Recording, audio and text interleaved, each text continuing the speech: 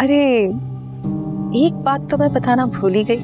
शायद आप लोग ये नहीं जानते हो कि आपकी बेटी अस्मा को इनके दुश्मन ने अगवा करवाया था।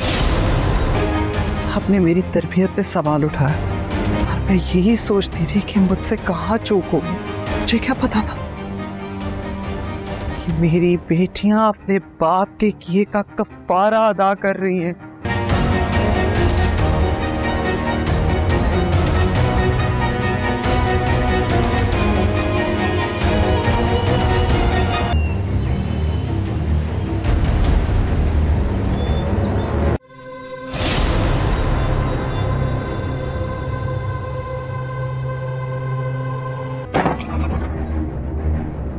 बल्कि मैं आपको एक मशवरा देता हूँ साहब।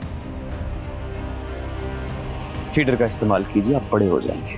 फिर आपको कहानी भी समझ आएगी, किरदार भी समझ आएँगे।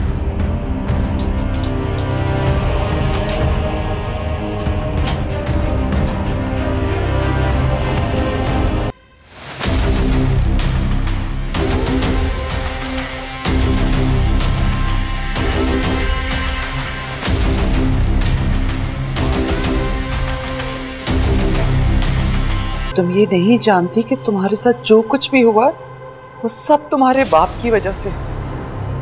उनके किए की सजा भुगत रही हो तुम। क्या मतलब?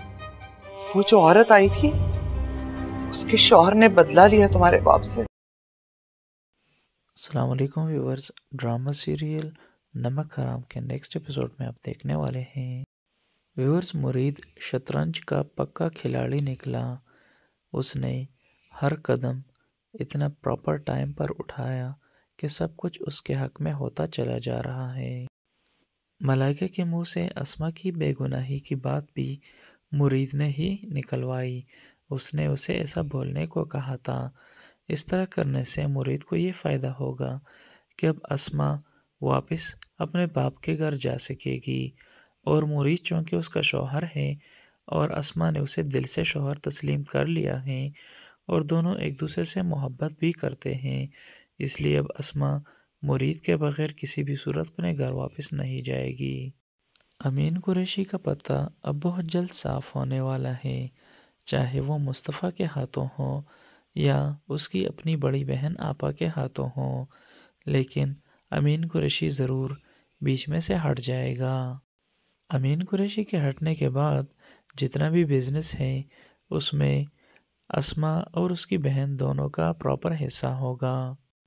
अरसल, चूँकि अपना ऑलरेडी ख़ुद का बिज़नेस संभाल रहा है, वो किसी भी सूरत अपनी बीवी का शेयर नहीं लेगा और सारा जितना बिज़नेस है, वो संभालने के लिए अब एक ही बंदा बचेगा और वो होगा मुरीद।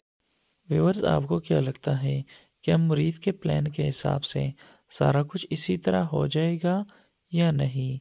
अपनी राय का इजहार कमेंट्स में ज़रूर कीजिएगा।